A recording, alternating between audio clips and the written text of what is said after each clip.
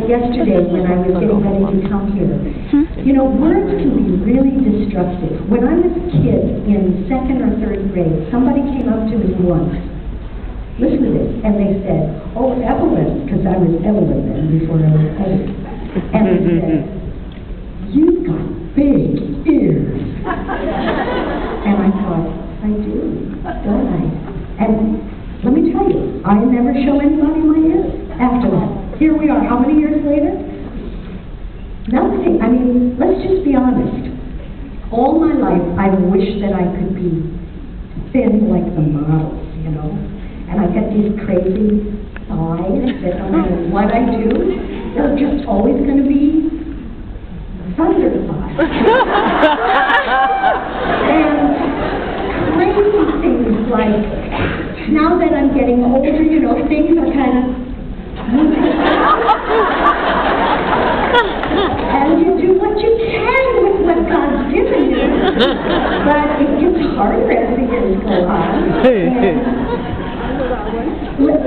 Another problem I've had all my life, where I wish that my folks had had enough money when I was a kid to give me braces.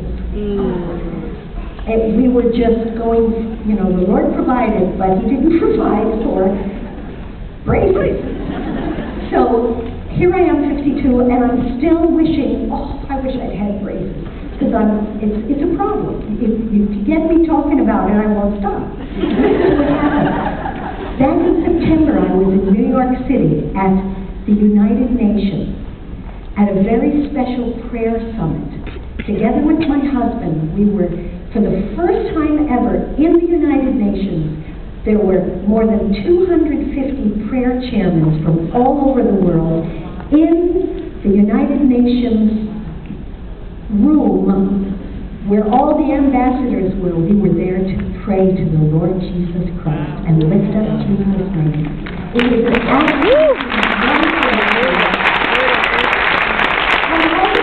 this glorious mountaintop experience, and a lady walks up and says, Oh, you must be Evie. I would know those teeth anywhere. so you see, doesn't matter how old you are or how old. I think all of us, I've yet to meet someone who says, Oh, I just love the way I look. I couldn't change a thing. I like the way I look.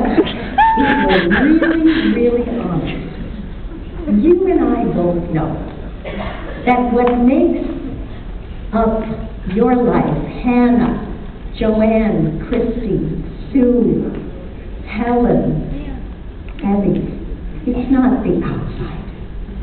It's who we are inside.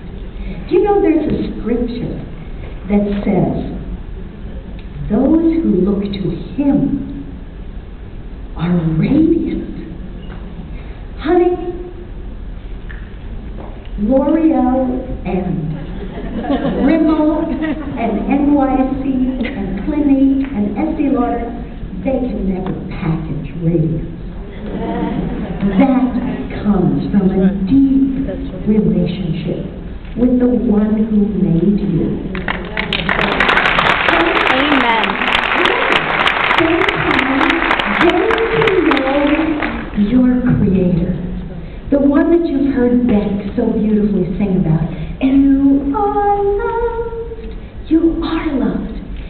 Take that to heart. Realize that while we do our best to stay healthy, and to do the best with what we've got, and sometimes we even change a little bit, that's okay. Don't get so hung up about the outside. Spend time cultivating that relationship with Jesus. Spend time in the Bible. Get to know the one who created you. Spend time in church, listening to Christian music, reading books that will lift you up out of that rut, and stop listening to that enemy of your soul that speaks in your ear and says, You're not beautiful. Nobody likes you. You're weird. You're strange. Humbug. You're precious. You are His design, and He loves you. Don't forget that from within you can reflect the real creator, the radiance from him. When you look in the mirror, who do you see?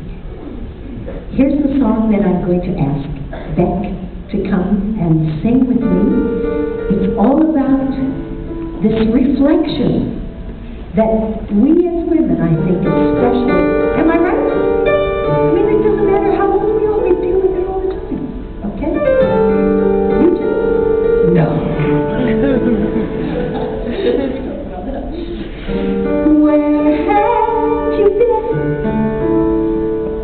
Who